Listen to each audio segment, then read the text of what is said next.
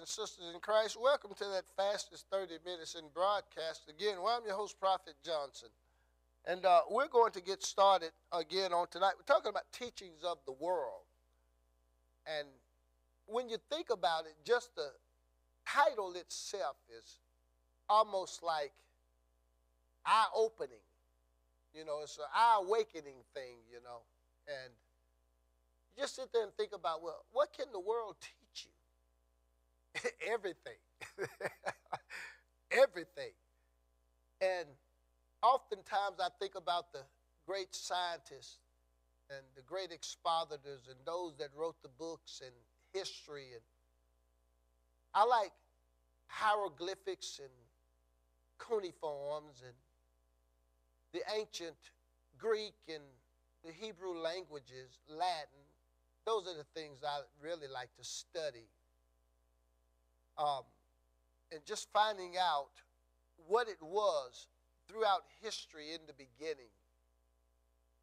And when you think about the Garden of Eden and all of the wisdom of Solomon, you know, Solomon being the wisest man on the face of this earth that there ever was. And, you know, think about the guys, guys in today's time, you know, that are geniuses. Solomon's hundred times smarter than what they are right now in today's time. So King Solomon probably would have just blew us all out. But my point is this is that all of those things are historical records. Just like locked inside the chronological order of a tree with the rings. In each year of that tree's life, and each year of your life and my life tells a story.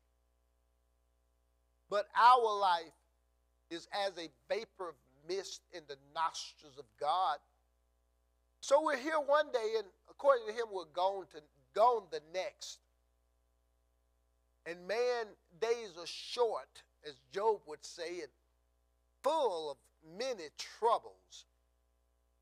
And I don't want to get into that because I didn't realize, as the young people do, do not realize now, how short life is until you get older.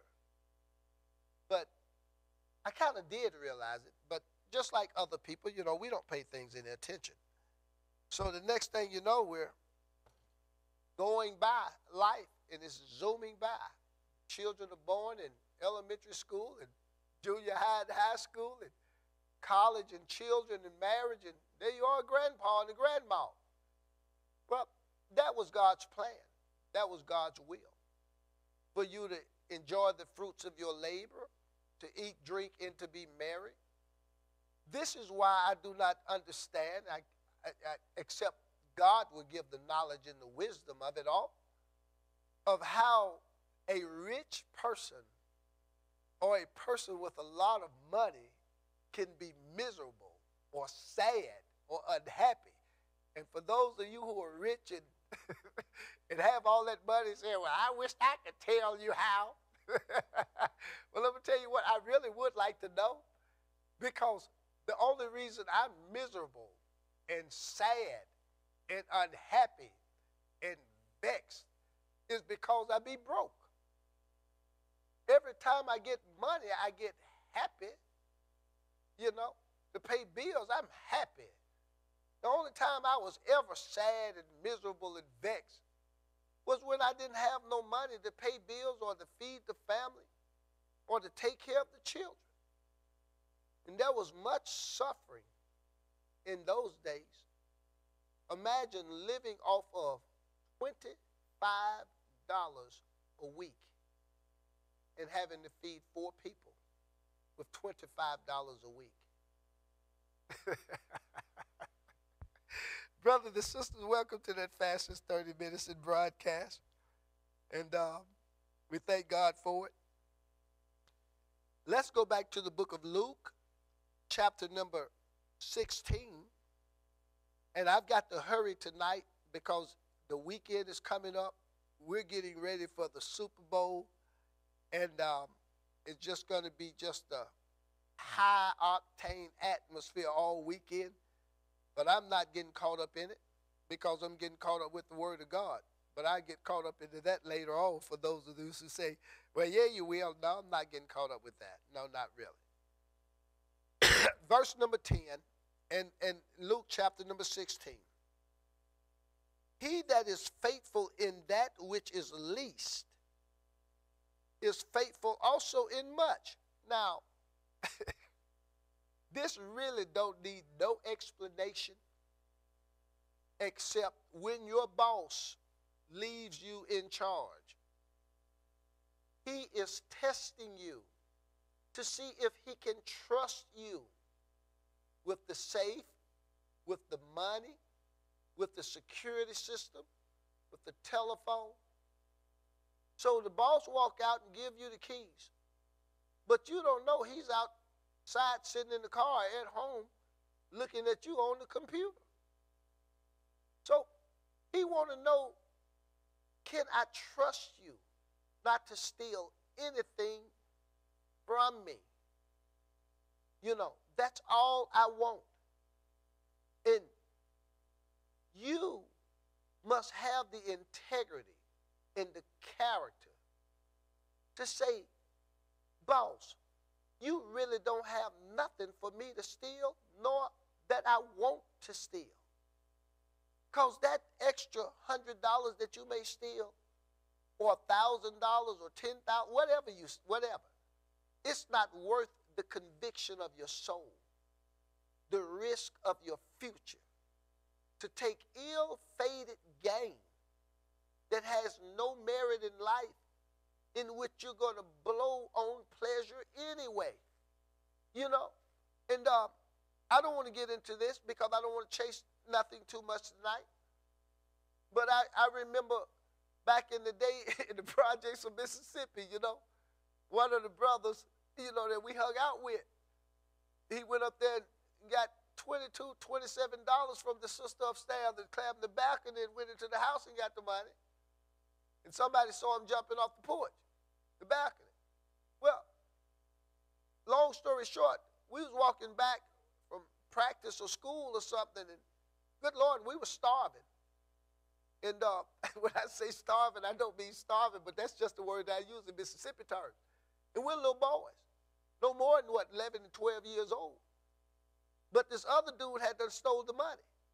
And so he stopped at the place called the Cream Cup, and they made those big, juicy hamburgers, nothing like the stuff you got now. The kind that, the, the real deal hamburgers, okay? And so he was there eating that food and stuff and everything else, and he was like, Well, do y'all want me to buy you a hamburger? Or buy y'all something to eat? We was like, Well, no, not really. Because we knew something was up.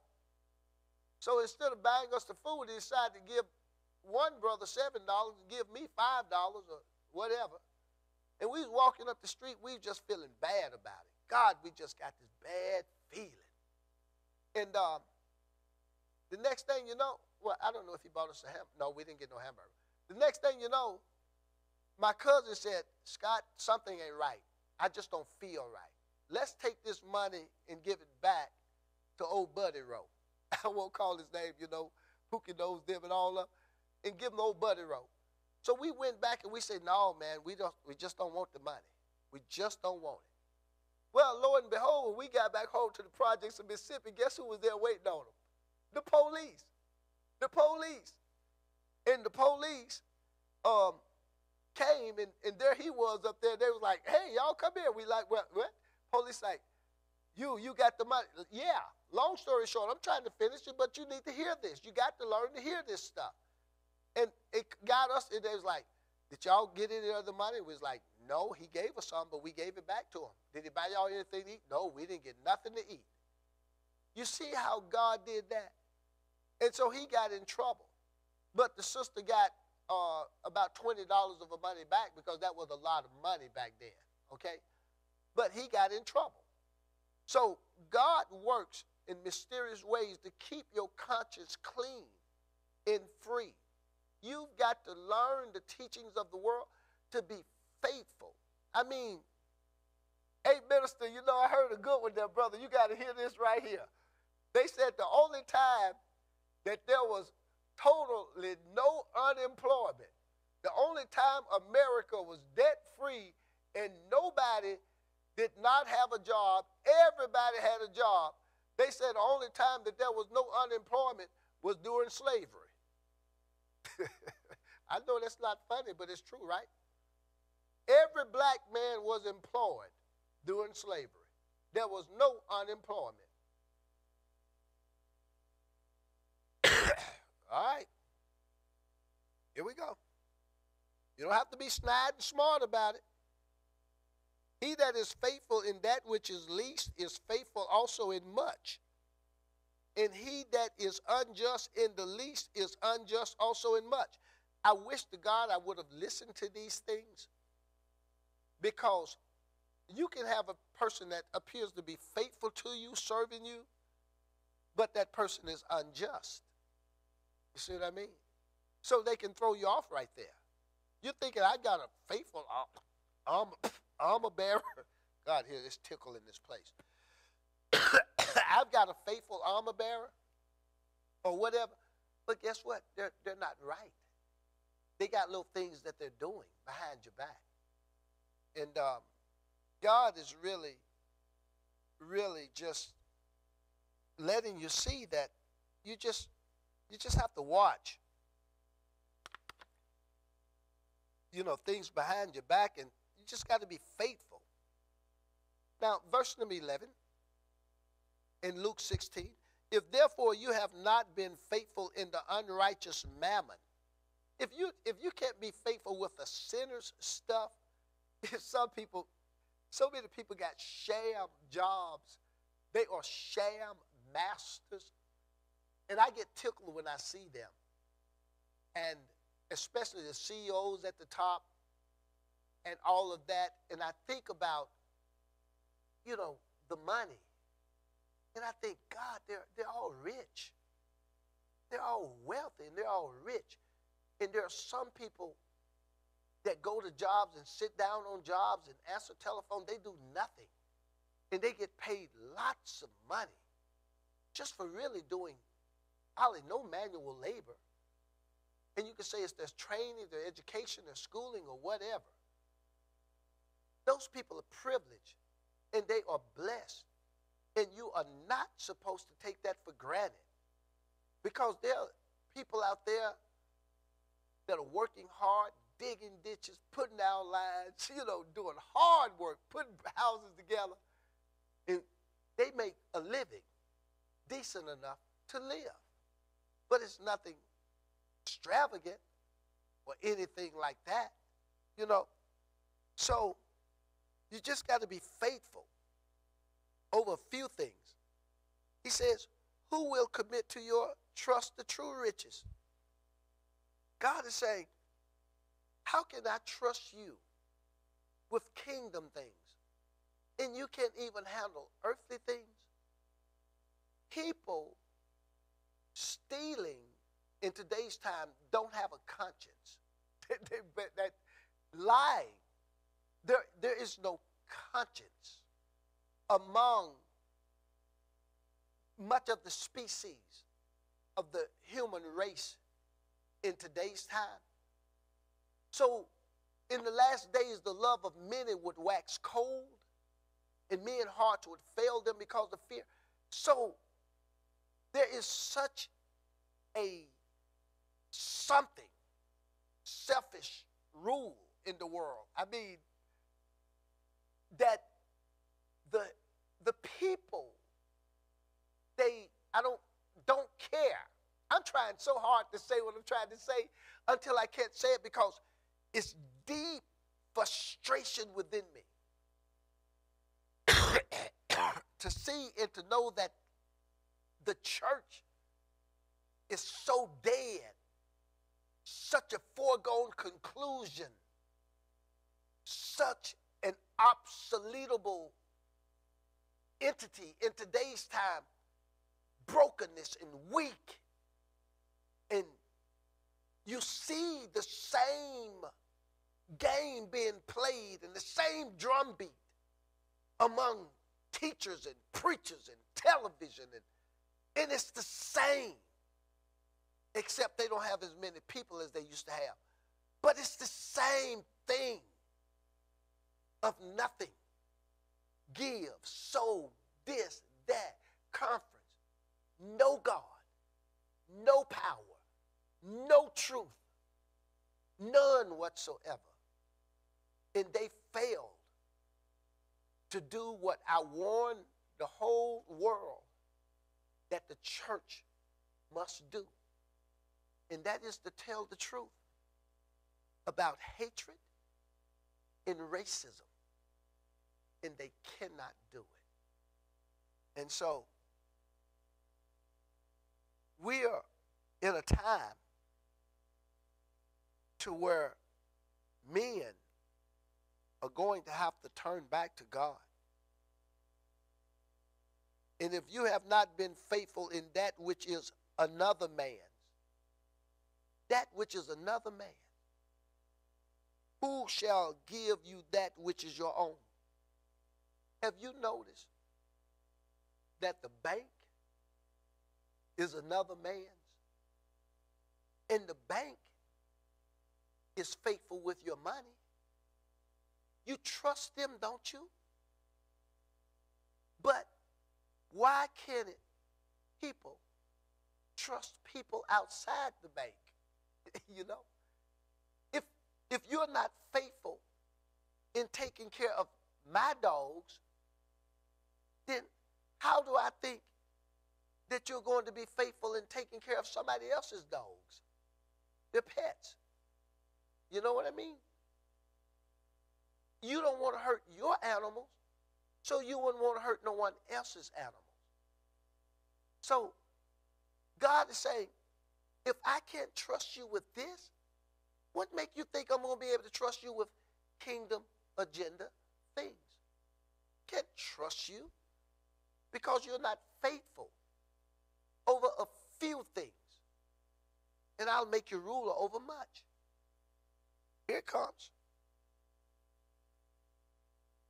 No servant can serve two masters, for either he will hate the one and love the other,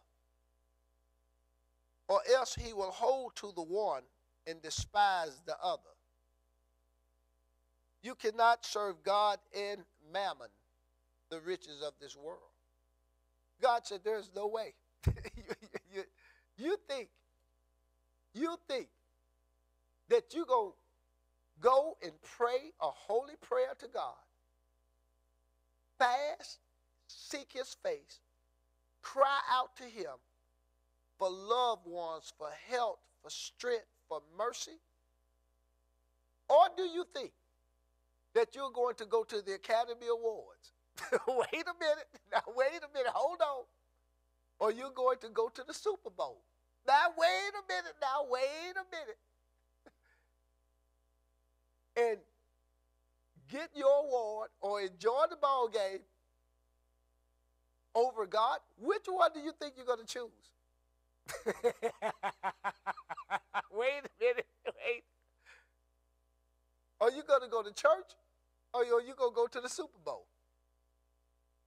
Right? You see how it works? Well, I can go and pray later. No, you're not. You've got to pray now at that time. At the same time, the Super Bowl and the Grammy Awards, you've got to choose which one you're going to go to God or the Super Bowl. You see. Prophet Joseph, what about you? I'm going to the Lord. I care less about a Super Bowl. Care less about a Grammy. Care less about billions of dollars. There's nothing on earth that can buy me. Satan already went to Jesus tried to buy me. Jesus said he costs too much. He's priceless. The devil said he is worthless. Jesus said he's the best and one of the best I've got. He's the truth teller. That's why you want him. No amount of money. No amount. No amount. I wouldn't even sell my dog for a million dollars. no, yes, you would. No, you no. Ask Jesus. I wouldn't even sell my dog for a billion dollars. Prophet Johnson, you're lying. Ask Jesus. Ask Jesus. Why? Because you cannot purchase love. You can't sell love. It's too much love. I will never again have love like that. You see, unconditional love. So a billion dollars for my little dog PJ, 13 pound Jack Russell, I wouldn't be able to sleep. The only way that he can lead me is to die. You see the love? That's the same way God feel about us. You can't buy us. We've already been bought. We was purchased with love. And it was bloody love that brought us, that bought us, that purchased us. Prophet Johnson, yes. Ask Jesus. I get I bet you billionaire can bring him. Bring him. Bring any billionaire. Any of them. I will not do it. Because I don't care about money.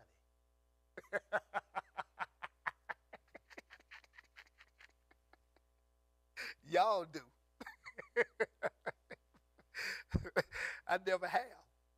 I only use it to live. I know God, and I know something y'all don't know. And if y'all do what I do, y'all help me, Jesus. Lord, help me. I've been nice so far. But if they knew, sure, the glory, and if they have seen what I've seen, they would know. My God, they would know. But you sort of punished me with this on earth as a human. You punish me with seeing and knowing something that they will never believe or see or know until they die. And you let me see this while I'm alive as a human. And they will never believe. Ever, ever. God. Being a prophet. Being a prophet. Seer.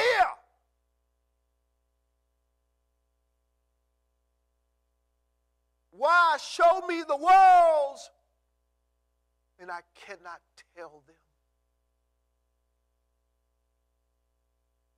Oh, I've seen the ends of the earth. And I've seen the coming of the They don't. They're humans, as I am. I know. Here it is. In verse number 14, now we're going to bring in some of the church folks here. Here we go. And the Pharisees also, who were covetous, jealous, jealous. The worst thing that you could ever have in your life is a man or a woman that you connected to that's jealous of you. Is a mother or father and family members that's jealous of you. Y'all have no idea. Covetousness is a very evil thing. to want what somebody else got. Oh my God. Oh my God. And the Pharisees also, who were covetous, heard these things, all these things, and they derived him. you know what I mean? Who do you think he is? Who do he, who do he think he is? You know? Joseph, the son of, uh, Jesus, the son of a carpenter. Jesus being the son of a carpenter, you might have thought he would have been a Mexican. You know? Here it is. And he said unto them, You are they which justify yourselves before men. Y'all hear that? How many people did you do you know that do that? Tons of them. They make themselves look good. They justify themselves in front of men. The glory of men. The glory of men. Oh my God, brothers and sisters in Christ. You're part of your church organization, part of the dysfunctional functions that y'all have. You know what most of them are doing? They're seeking the glory of men